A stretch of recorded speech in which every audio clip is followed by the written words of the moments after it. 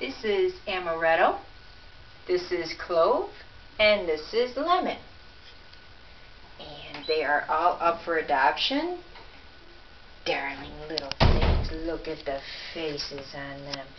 Very nice little kitties. This one, if you can see, you can see their paws, there you go. They're Hemingway cats. Or polydactyl, which means that they have those extra paws, the little extra toes on each paw. Look at how cute they are. Absolutely adorable. Look at those faces and they're waiting for their new home. Let's not disappoint them. Come on down. Take them.